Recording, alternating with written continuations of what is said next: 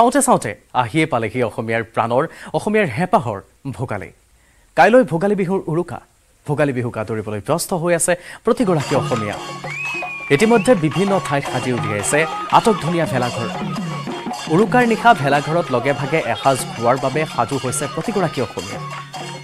আনহাতে বিভিন্ন প্ৰকাৰৰ পিঠা লাড়ু বনাবলৈ আখলত ব্যস্ত হৈছে জীয়ৰী বোৱাৰী। ইফালে ভোগালীৰ সামগ্ৰীৰে উভয় নদী হৈছে ৰাজ্যৰ প্ৰতিখন বজাৰ। চিৰা সান্দহ বৰা চাউলকে ধৰি বিভিন্ন সামগ্ৰী উপলব্ধ হৈছে বজাৰত। ভোগালীৰ সামগ্ৰী ক্ৰয় কৰিবলৈ বজাৰত ভিৰ কৰা দেখা গৈছে গ্ৰাহকে। গুৱাহাটীত ৰেডিমেড মেজিৰো বিক্ৰী হৈছে ঠায়ে ঠায়ে।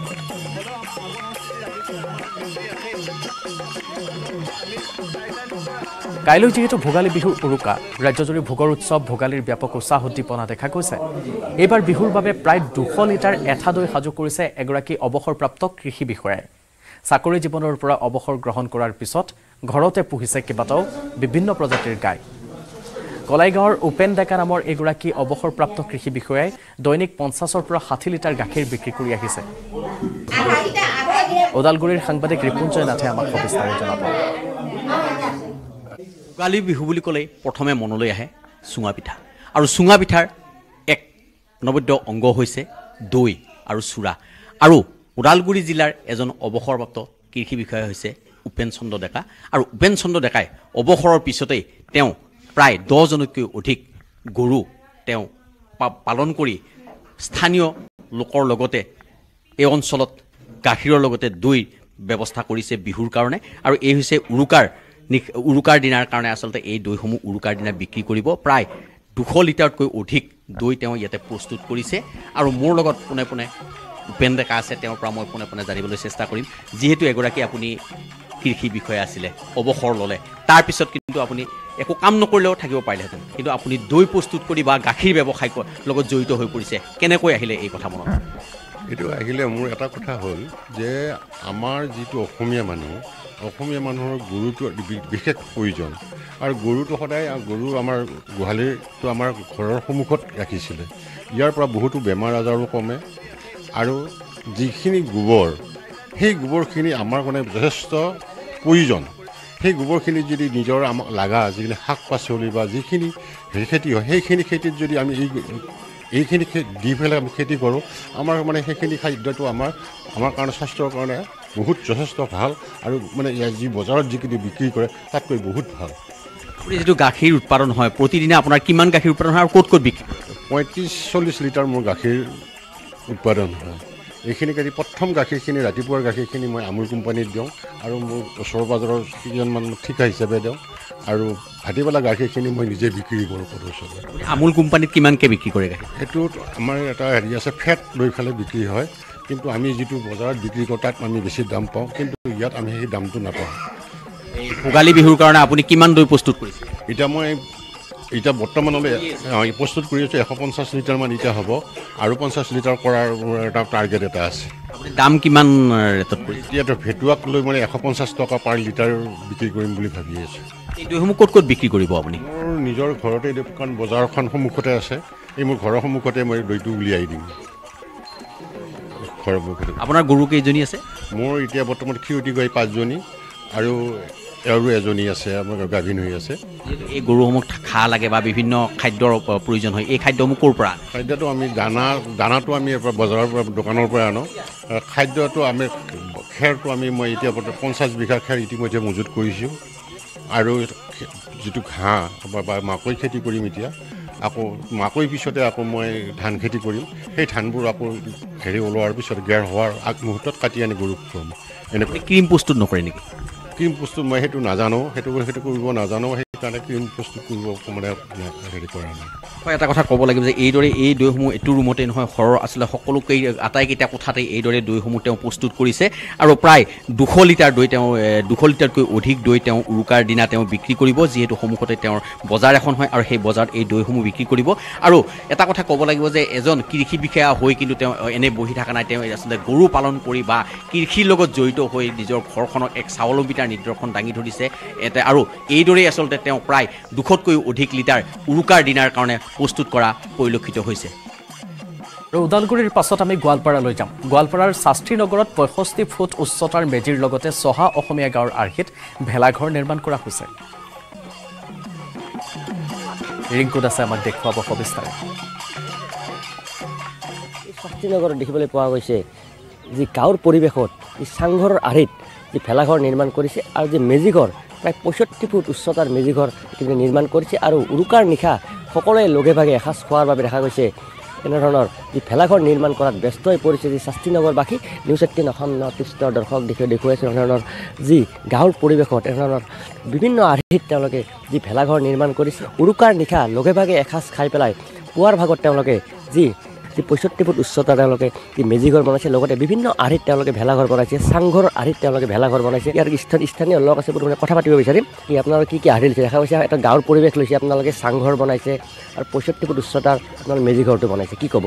প্ৰথমে মই নিউজ এইটিনৰ সম পৰিয়ালবৰ্গ তথা অসমবাসী ৰাইজক ইংৰাজী নৱবৰ্ষ তথা ভোগালী বিহুৰ আন্তৰিক শুভেচ্ছা জ্ঞাপন কৰিছোঁ।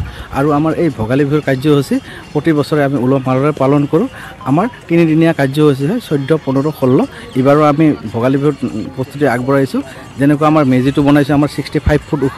তেনেকুৱা আমাৰ চাংঘৰ আছে চাংঘৰ বনোৱা হৈছে দুটা। আৰু এনেকুৱা আমাৰ যোনটো আমি লগে ভাগে এসাঁজ ভোজ ভাত খাম তেনেকুৱাৰ কাৰণে আমাৰ ভেলাঘৰ এটা বনোৱা হৈছে।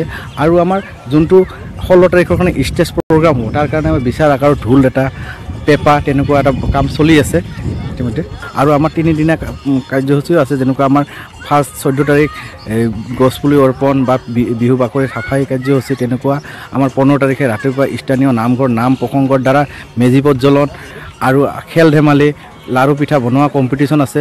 আৰু কণ কণ যোনবিলাক আমাৰ সৰু বিহুৱা বিহুৱতী এ, মৌকুঁৱৰী তেনেকুৱা বিহু কম্পিটিশ্যনো আছে পোন্ধৰ তাৰিখ আৰু ষোল্ল তাৰিখে আমাৰ সাংস্কৃতিক সন্ধিয়া আছে তাত আকাশ প্ৰীতম টুইংকেল চৌধুৰী আৰু সেনেকুৱা যোনখিনি আমাৰ স্থানীয় শিল্পী আছে তেখেতৰ দ্বাৰা আমাৰ কালচাৰেল প্ৰগ্ৰাম এটা অনুষ্ঠিত কৰা হৈছে। নিশ্চয় ক'ব লাগিব ভোগৰ উৎসৱ ভোগালী বিহুক লৈ ৰাজ্যজুৰি চলিছে উখল বাখল পৰিৱেশ আৰু নিউজ এইটিন অসম নৰ্থ ইষ্টৰ দৰ্শক দেখুৱাইছোঁ গোৱালপাৰা চহৰৰ যি শাস্ত্ৰীনগৰৰ পৰা দেখুৱাইছোঁ বিভিন্ন আৰ্হিত তেওঁলোকে ইয়াত ভেলাঘৰ নিৰ্মাণ কৰিছে আৰু পঁয়ষষ্ঠি ফুট উচ্চতাৰ ইয়াত ইতিমধ্যে যি মেজিঘৰ এই মেজিঘৰ স্থাপন কৰিছে আৰু উৰুকাৰ নিশা লগে ভাগে এসাঁজ খাই পেলাই যি আনন্দ ফূৰ্তি কৰিব আনন্দ ফূৰ্তিৰ বাবে দেখা গৈছে এনেধৰণৰ যি ভেলাঘৰ নিৰ্মাণত ইতিমধ্যে ব্যস্ত হোৱা পৰিলক্ষিত হৈছে। আৰু ইফালে লখিমপুৰৰ জকাই পেলোৱা চুমনি গাঁৱৰ ৰাইজে কৰিছে ভোগালীৰ মহা আয়োজন কৰা দেখুৱাম আপোনাক। প্ৰত্যেক বছৰৰ দৰে এইবাৰো উৰুকাৰ সন্ধিয়াৰ ৰাইজে মিলি প্ৰীতিৰে এসাঁজ খাব। ৰংঘৰৰ আৰ্হিৰে নিৰ্মাণ কৰিছে ভেলাঘৰ। বিগত প্ৰায় এসপ্তাহ ধৰি পুৱাৰে পৰা সন্ধিয়ালৈ শ্ৰম কৰি আছে গাঁৱৰ ডেকাসকলে। লখিমপুৰৰ সাংবাদিক সঞ্জীৱ লাহনে আমাক দেখুৱাব। ইয়াত ৰাইজে একেলগে ভোগালীৰ এসাঁজ খাবৰ কাৰণে অত্যন্ত তেওঁলোকে যা যোগাৰ কৰিছে আৰু যা যোগাৰত কোনো ত্ৰুটি কৰা নাই। আৰু তাৰ লগে লগে তেওঁলোকে প্ৰস্তুত কৰি আছে এটা সুদৃশ্য ভেলাঘৰ। এটা ভেলাঘৰ ৰংঘৰ আৰ্হি এটা ভেলাঘৰ প্ৰস্তুত কৰি আছে। মই পোনে পোনে আখললৈ যাব বিচাৰিছোঁ। আখলৰ পৰিৱেশ এয়া। মাংস ক'ত আছে? খুৰীদেউ মাংস ক'ত আছে? মাংস আছেনে নাই? মাংস আছে? মাংস আছে। আৰু কি কি হ'ব এতিয়া? অঁ সাজ পানী হ'ব। সাজ হ'ব। আৰু কি আছে? হা চব হ'ব। চব হ'ব। যিমান বিচাৰে সিমান হ'ব পিঠা। চব হ'ব ন? চব হ'ব। আৰু মানে এতিয়াৰ পৰা খানা আৰম্ভ হ'লে আৰু। আৰম্ভ হ'লে আৰু। আহ, এয়া হ'ল পৰিৱেশ। মই পুনৰ কৈছোঁ যে লখিমপুৰ জিলাৰ বিহপুৰীয়াৰ জকাই পেলোৱা চমনি গাঁৱৰ এই পৰিৱেশ যে কেৱল ভোগালীৰ সাজটোৰ কাৰণে বাট চাই থকা নাই কোনো। যেতিয়াৰ পৰা ইয়াত ভেলাঘৰ বনাবৰ কাৰণে কাম আৰম্ভ কৰিছিলে তেতিয়াৰ পৰা প্ৰত্যেক দিনাই যিসকল লোক কামত ব্যস্ত থাকে তেওঁলোকে কাম কৰি আছে। অন্যসকলে গাঁৱৰ যিসকল আপাদেউ আছে বদেউ আছে বা এনাইদেউ আছে সকলো ওলাই আহি এই কাম কৰি থকা ডেকাসকলক এসাঁজ ভাত খুৱাবৰ কাৰণে প্ৰস্তুতি চলাই আছে। মই দেখুৱাই আছোঁ এতিয়াও কামত লাগি আছে তথাপিতো অকণমান আমনি কৰিম। কি কি হ'ব ইয়াত খানা? উৰুকাৰ খানা ভাত সাজত কি কি থাকিব? উৰুকা মানে আমাৰ ভোগালী বুলি গম পাইছেই। গতিকে ভোগত আমি ভোগ কৰিবই লাগিব। আমাৰ গাহৰি থাকিব মুৰ্গী থাকিব হাঁহ থাকিব মাছ থাকিব। আৰু অন্যান্য আমাৰ আপোনাৰ টেকেলি পিঠা চুঙা পিঠা লগতে আপোনাৰ চুঙা চাউল। মানে জা জলপানৰ পৰা আৰম্ভ কৰি এসাঁজ ভাতত যিমান থাকিব লাগে মাছ মাংস সকলো থাকিব সকলো থাকিব। সকলো থাকিব আৰু সকলো আমাৰ ইয়াত এশ ডেৰশ মানুহ আছে। একেলগে একেলগে খাম। গোটেইখিনি আহিব চব খোৱা বোৱা ইয়াত থাকিব নাচ আগৰ আমি ৰংঘৰ বনাইছিলোঁ এইবাৰ আমি কাৰেংঘৰ আৰু এটা ঘৰ বনাই কাৰেংঘৰ হ'ব। মই পুনৰ মোৰ সহযোগী যিটো ভেলাঘৰ সেই ভেলাঘৰ আৰ্হি দেখুৱাবৰ কাৰণে যত্ন মই কৰিছোঁ। ৰাইজৰ যি প্ৰচেষ্টা সেয়া নিতান্তই শলাগ ল'বলগীয়া। কাম এতিয়াও কামত এতিয়াও ব্যস্ত হৈ আছে মই পুনৰ আখললৈ যাম। মই এজনী নবৌ লগ পাইছোঁ। নবৌ আপোনাৰ ওচৰলৈকে আহিছোঁ। সাজ কেই কলত হৈছে পিছে? সাজ পাঁচ কলমান হ'ব। অঁ নিজে খাবনে? আলহী মাতিছেনে নাই? আলহী আহিব গাঁৱৰ অতিথি। নিজে বাৰু নেখাওঁ বহুত কষ্টৰে ভেলাঘৰ বনাব। হয়, হয়। তেখেতলোকক কেইবাটিমান দিব লাগিব আৰু। এয়াই হ'ল ভোগালীৰ উৎসাহ মই পুনৰ কৈছোঁ যে ৰাজ্যজুৰি যেনেদৰে বিভিন্ন প্ৰান্তত বহুজন ব্যস্ত আছে। মেজি সজাত বহুজন ব্যস্ত আছে। জা জলপান যোগাৰ কৰাত আৰু বহুজন বহু ডেকা গাভৰু ব্যস্ত আছে এতিয়া ভেলাঘৰ প্ৰস্তুত কৰাত। আপোনালোকে যোৱাবাৰ কি কৰিছিলে পথ? আমি যোৱাবাৰ ৰংঘৰ কৰিছিলোঁ। এইবাৰ? এতিয়া কৈছে ভেলাঘৰ মেলাঘৰ হৈছে বুলি কৈছে কিন্তু সেইটো কথা নহয়। আমি সেইটো দেখাব বিচাৰিছোঁ। আমাৰ নৱপ্ৰজন্মই যদি এইটোকো নকৰে তেতিয়াহ'লে আমাৰতো অকণমান অসুবিধা হ'ব। আমিতো ভেলাঘৰটো সদায় ৰক্ষা কৰিব লাগিব। সেইকাৰণে আমি এইবাৰ ৰংঘৰ আহিয়ে কৰিছোঁ।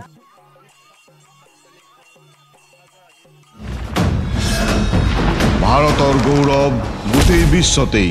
ইয়াৰ সন্মান ষ্ট্ৰং মানে মাইথান ষ্টীল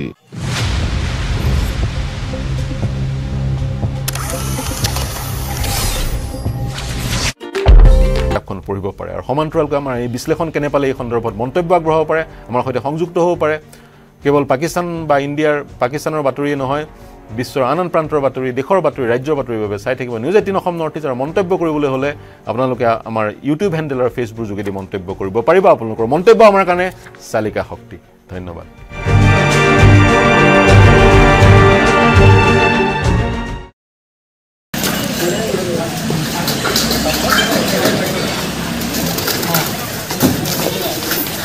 সমাগত ভোগালী বিহু। ভোগালী বিহু উপলক্ষে সমগ্ৰ ৰাজ্যজুৰি এতিয়া বিহুক আদৰা প্ৰস্তুতি চলিছে।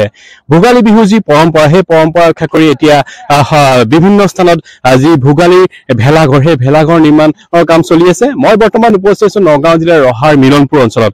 আৰু এই ৰহাৰ মিলনপুৰ অঞ্চলত তো দীঘলগুৰি মিলনপুৰ অঞ্চলতো প্ৰায় পাঁচখন গাঁৱৰ যুৱকে মিলি মিলনপুৰ পথাৰত যি মহামৃত্যুঞ্জয় সেই মহামৃত্যুঞ্জয় আৰ্হি ভেলাঘৰ নিৰ্মাণ কৰিছে আৰু বৰ্তমান নিৰ্মাণৰ কাম চলি আছে। মই মোৰ সতীৰ্থগীয়াৰ সামগ্ৰিক পৰিৱেশ দেখুৱাবলৈ জনালো আহ, যিহেতু আহ, দীঘলগুৰি অঞ্চলৰ দীঘলগুৰি অঞ্চলৰ পাঁচখন গাঁৱৰ যুৱকসকলে মিলি একেলগে মিলি এনেদৰে পঞ্চাছ ফুট উচ্চতাৰ আহ, যি ভে- ভেৰভেৰিস্থিত আহ, মি- মহামৃত্যুঞ্জয় মন্দিৰ। সেই মত মহামৃত্যুঞ্জয় মন্দিৰৰ আৰ্হি তেওঁলোকে আহ, ভেলাঘৰ নিৰ্মাণ কৰিছে। পোন প্ৰথমবাৰৰ বাবে তেওঁলোকে এই প্ৰস্তুত যি ভেলাঘৰ নিৰ্মাণৰ কাম হাতত লৈছে আৰু ইতিমধ্যে তেওঁলোকৰ কাম পূৰ্ণগতিত চলি আছে। যিহেতু বিহুলৈ মাজত মাত্ৰ কেইটামান দিন বাকী আছে। আৰু তাৰ আহ, আহ, তাৰ লগতে তেওঁলোকে এতিয়া পূৰ্ণগতিত তেওঁলোকৰ যি ভেলাঘৰ সেই ভেলাঘৰ নিৰ্মাণৰ কাম চলাই গৈছে। মোৰ সতীৰ্থ ইয়াৰ সামগ্ৰিক পৰিৱেশ দেখুৱাই গৈছে। এক আহ, সুন্দৰভাৱে তেওঁলোকে পথাৰৰ নৰা আৰু বাঁহেৰে এনেদৰে যি মহামৃত্যুঞ্জয় মন্দিৰ সেই মহামৃত্যুঞ্জয় মন্দিৰৰ আৰ্হিত ভেলাঘৰ এইবাৰ নিৰ্মাণ কৰিছে আৰু তেওঁলোকে যি কাম পাঁচখন গাঁৱৰ যুৱকসকলে একেলগে মিলি আচলতে সকলো একেলগে মিলি দিনে ৰাতি এনেদৰে কাম কৰাত ব্যস্ত হৈ পৰিছে আৰু মোৰ সতীৰ্থ ইয়াৰ সামগ্ৰিক পৰিৱেশ দেখুৱাই গৈছে। মই অঞ্চলৰ এগৰাকী যুৱক আছে মই তেওঁৰ লগত পোনে পোনে কথা পাতিব বিচাৰিম। যিহেতু আমি জানিব পাৰিছো পোন প্ৰথমবাৰৰ বাবে আপোনালোকে এনেদৰে যি ভেলাঘৰ ভেলাঘৰ নিৰ্মাণ কৰিছে আচলতে কি ক'ব? নমস্কাৰ। পোনপ্ৰথমে আপোনালোকৰ মাধ্যমেৰে মই সমূহ অসমবাসী ৰাইজলৈ আগন্তুক ভোগালী বিহুৰ শুভেচ্ছা জ্ঞাপন কৰিছোঁ। আমি জনাবলৈ পাই খুব সুখী হ'ম যে আমি দীঘলদৰী কাকতি গাঁও পহুপুৰী আদৰ্শ গাঁও ন কাকতি গাঁও মিলনপুৰ আদিকে ধৰি পাঁচখন গাঁৱৰ সমূহ যুৱক আৰু জ্যেষ্ঠ সকলোৱে লগ লাগি আমাৰ ভেৰভেৰিস্থিত মহামৃত্যুঞ্জয় মন্দিৰৰ আৰ্হিত এটি ভেলাঘৰ নিৰ্মাণ কৰি আছো। ইতিমধ্যে প্ৰায় আশী শতাংশ কাম আমাৰ সমাপ্ত হৈছে আৰু দহ বিছ শতাংশ আছে। সেইখিনিও খুব সম্ভৱ আজি বিয়লি বেলা নহলেও কাইলৈ ভাগত ওলাই যাব।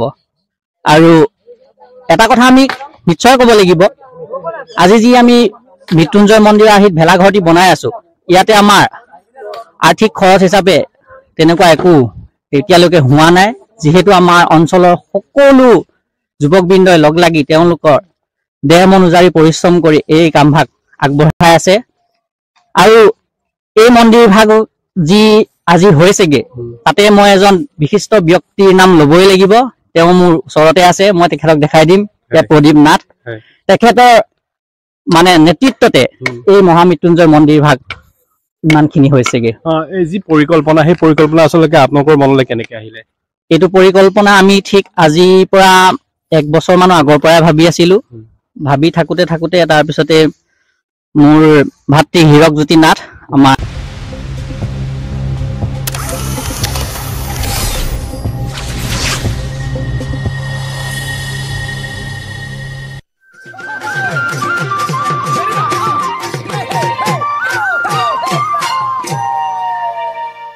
আপোনাক দেখুৱাই আছোঁ ভোগালীৰ প্ৰস্তুতিৰ দৃশ্যৰ ৰাজ্যৰ বিভিন্ন প্ৰান্তৰ পৰা।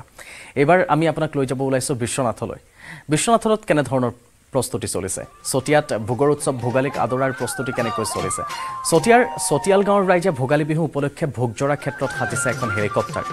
ভোগালী বিহুৰ পাৰম্পৰিক হৰিনাম গাই কামত ব্যস্ত হৈ আছে গঞা বিহুৰ ভোজ ভাতৰ লগতে ধৰ্মীয় ৰীতি নীতি পালন কৰা হ'ব ভোগজৰা ক্ষেত্ৰত। আধুনিকতাৰ লগতে নিভাজ গাঁৱলীয়া পৰিৱেশৰ সংমিশ্ৰণেৰে গাঁওখনত উদযাপিত হ'ব মাঘৰ বিহু। বিশ্বনাথৰ সাংবাদিক তুষাৰ হাজৰিকাই দেখুৱাব। চতিয়াল গাঁৱতো দেখিবলৈ পোৱা গৈছে যে এইবেলি উলহ মালহেৰে ভোগালীক আদৰাৰ যি প্ৰস্তুতি সেই প্ৰস্তুতি এই মুহূৰ্ততো চলি আছে আৰু মোৰ সহযোগীয়ে ইয়াৰ দৃশ্য দেখুৱাব। চতিয়াল গাঁৱত আচলতে এখন হেলিকপ্টাৰ নিৰ্মাণ কৰা হৈছে আৰু লগতে ভেলাঘৰ নিৰ্মাণ কৰা হৈছে আৰু এক ব্যতিক্ৰমী ৰূপত এইবাৰ আচলতে যি বিহু বিহু ইয়াত উদযাপন কৰাৰ বাবে ইয়াত প্ৰস্তুতি চলি আছে আৰু সমান্তৰালকৈ যি চহা জীৱনৰ লগত জড়িত হালৰ গৰু বা ম'হ যুঁজ সেইসমূহ ইয়াত আচলতে স্থান পাইছে। ইয়াত স্থানীয় লোক আছে মই কথা পাতিবলৈ যত্ন কৰিম। মই প্ৰথমতে আপোনাৰ কাষলৈ আহিছো। আহ, বিহুৰ প্ৰস্তুতি চলি আছে ইয়াত। ভালকে চলি আছে। এখন চতিয়াল গাঁৱৰ ঐতিহাসিক ভেড়াঘৰ মেলা। প্ৰতি বছৰে দুহেজাৰ আঠ চনৰ পৰা পাতি আছে। আমি যদিও নাথাকো ইয়াত গাঁৱত নাথাকো অকণ দূৰত থাকো তথাপিও বিহু বুলি ক'লে ইয়ালৈ ঢাপলি মেলি আহো সদায়। রাম সা রাম সা আজি হৰি এই মই দূৰ চৰ ৰাম সা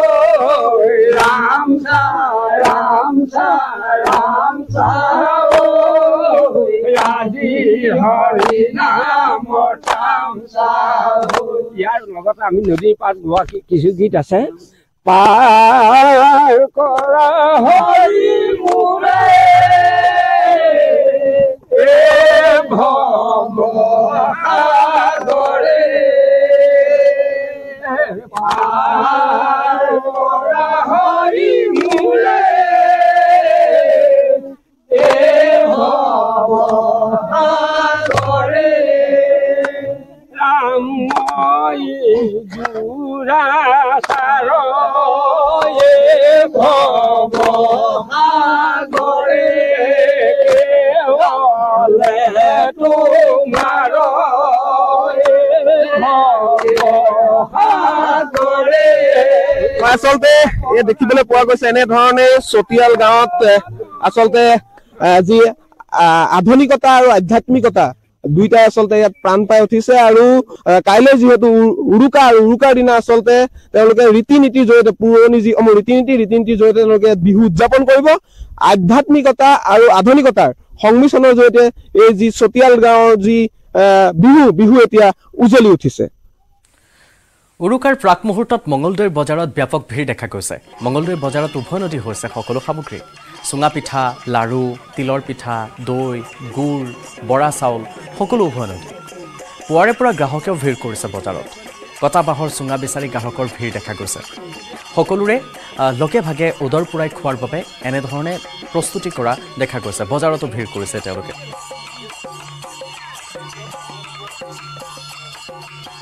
আৰু উৰুকাৰ পূৰ্বে কাজিৰঙা ৰাষ্ট্ৰীয় উদ্যানৰ দৃশ্য দেখুৱাম আপোনাক কহৰা বনাঞ্চলৰ কালমুখ বিলত সমূহীয়া মৎস্য চিকাৰ। শ শ লোক নামিছে মৎস্য চিকাৰত। আৰক্ষী প্ৰশাসনৰ উপস্থিতিত দাঁতি কাষৰীয়া লোকৰ এয়া মৎস্য চিকাৰৰ দৃশ্য আপোনাক দেখুৱাইছোঁ। প্ৰকান্ত প্ৰকান্ত মাছ একো একোটা বৃহৎ বৃহৎ আকাৰৰ মাছ এনেকৈ পলিথিনত ভৰাইছে জাল মৰা দেখা গৈছে এই দৃশ্যসমূহে সকলোকে আপ্লুত কৰিছে। আমি আপোনাক এয়া দৃশ্য দেখুৱাইছোঁ কাজিৰঙাৰ দাঁতি কাষৰীয়া সেই অঞ্চলৰ পৰা এনেকৈ লোকসকল নামিছে বিলৰ মাছ মাৰিছে। ধুৱলি কুঁৱলী পৰিৱেশ তাৰ মাজতে টঙি জাল শেৱালি জাল সকলোৱে যোনে যেনেকৈ পাৰিছে জাল জুলুকি লৈ মৎস্য চিকাৰ কৰাত ব্যস্ত হৈছে।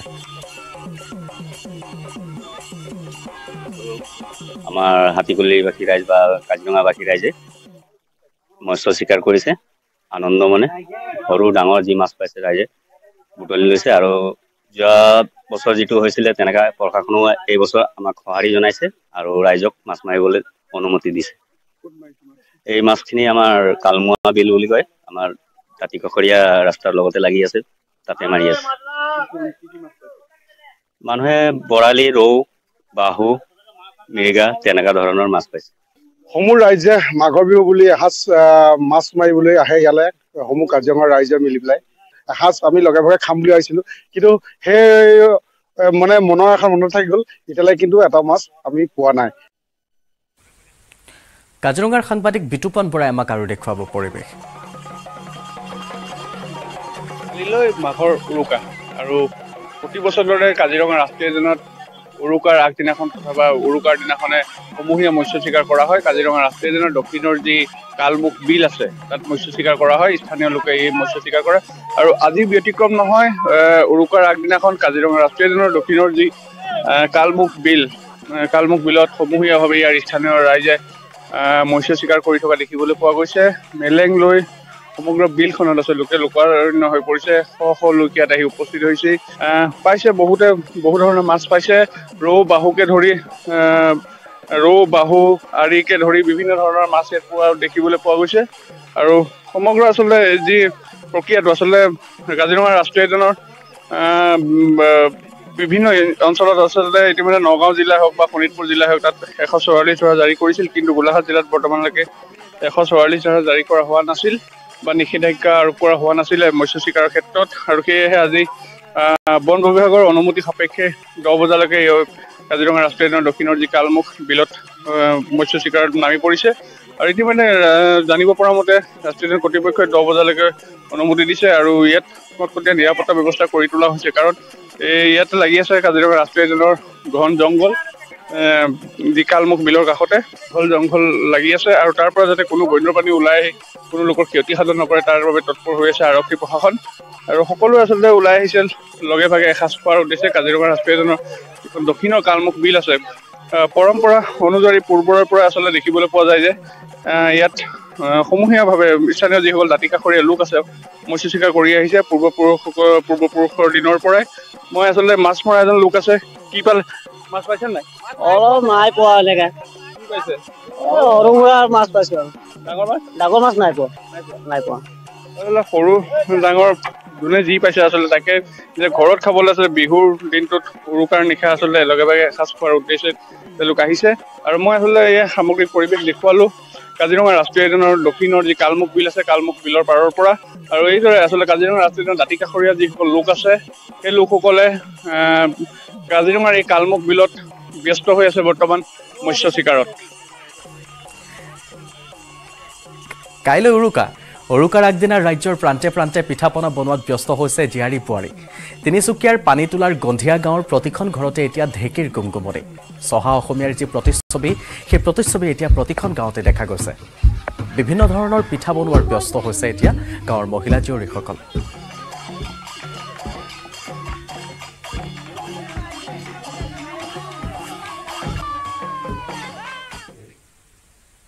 আৰু ইয়াৰে সৈতে সামৰিছোঁ আবেলিৰ সংবাদ। নমস্কাৰ।